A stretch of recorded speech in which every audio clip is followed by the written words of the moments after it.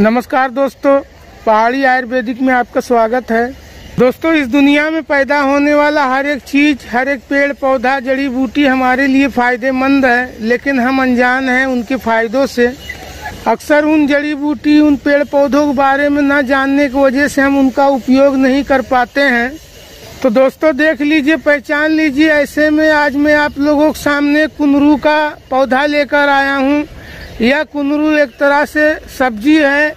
जहाँ दोस्तों यह कुनरू एक सब्ज़ी है, वहीं एक बहुत अच्छा आयुर्वेदिक औषधि भी है, क्योंकि हमारे शरीर में होने वाले बहुत सारे रोग को ठीक करने की ताकत इस सब्ज़ी के अंदर है, जिसे हम कुनरू के नाम से जानते हैं। दोस्तों, यह कुनरू का पौधा एक बेलनुमा पौधा होता है, जो कि किसी न किसी पेड़ के ऊपर चढ़कर फैलता है। इसके पत्ते अंगूर के पत्तों से थोड़े मोड़े मिलते जुलते होते हैं। इसके फूल सफ़ेद सफ़ेद खूबसूरत दिखाई देते हैं। दोस्तों, जब यह कुंदरू का फल कच्चा होता है तो हरा हरा होता है और जब वही कुंदरू का फल पक जाता है तो लाल तो लाल लाल हो जाता है और काफ़ी खूबसूरत भी दिखाई देता है। तो देख लीजिए दोस्तों, मैं आपको दोनों फल दिखा दे रहा हूँ। हरा हरा वाला भी और लाल लाल जो दिखाई दे रहा है, वो भी। तो दोस्तों, मैं उम्मीद करता हूँ आप इस आयुर्वेदिक वनस्पति को पहचान चुके होंगे।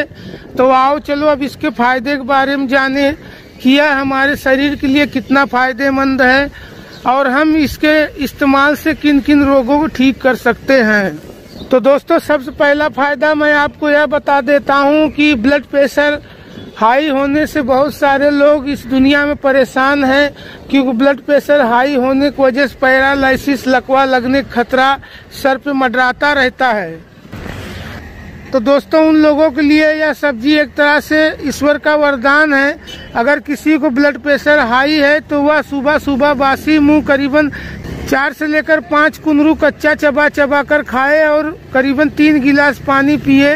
तो आठ दस दिन के अंदर उसका जो बीमारी है बीपी का ब्लड प्रेशर का, वह बीमारी बिल्कुल नॉर्मल हो जाएगा और फिर उसे हमेशा अंग्रेज़ी दवा खाना नहीं पड़ेगा, इतना फ़ायदेमंद होता है दोस्तों ब्लड प्रेशर रोगियों के लिए या कुंदरू।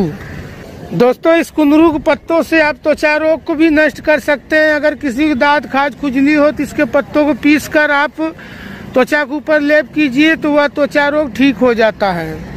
तो दोस्तों, एक तरह से यह भी बहुत अच्छा आयुर्वेदिक जड़ी बूटी पौधा है।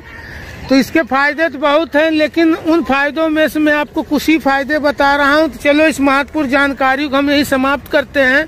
अगर हमारी जानकारी लाभदायक हो, फ़ायदेमंद हो तो हमारे चैनल को लाइक कीजिए, शेयर कीजिए, सब्सक्राइब कीजिए। नमस्कार दोस्तों, पहाड़ी आयुर्वेदिक।